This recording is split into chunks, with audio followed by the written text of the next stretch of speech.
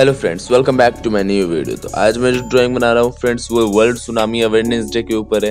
तो आप सभी को पता है फ्रेंड्स कि आज फिफ्थ नवंबर है और आज के दिन वर्ल्ड सुनामी अवेयरनेस डे मनाया जाता है। तो फ्रेंड्स मैंने इसके ऊपर एक ड्राइंग बना रहा हूँ, जैसा कि आपने थमने में देख ही लिया होगा।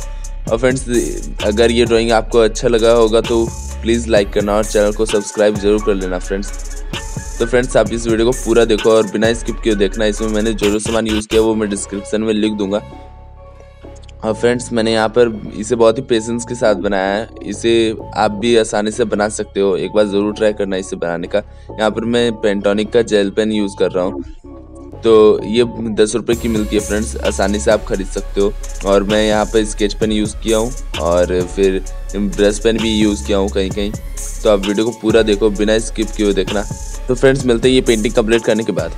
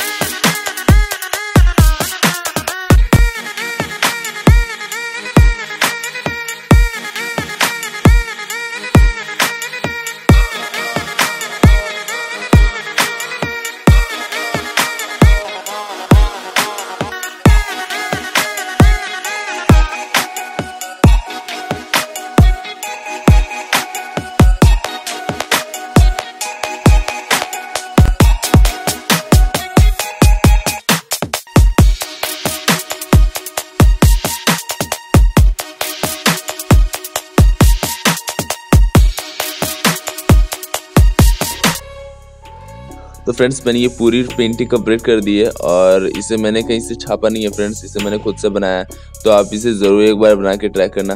तो फ्रेंड्स आपको ये वीडियो कैसी लगे वो कमेंट सेक्शन में ज़रूर बताना। अगर वीडियो अच्छी लगी हो तो लाइक करना और चैनल पर नहीं हो तो सब्सक्राइब करना। मिलते हैं अगले वीडियो में, तब तक ले बाय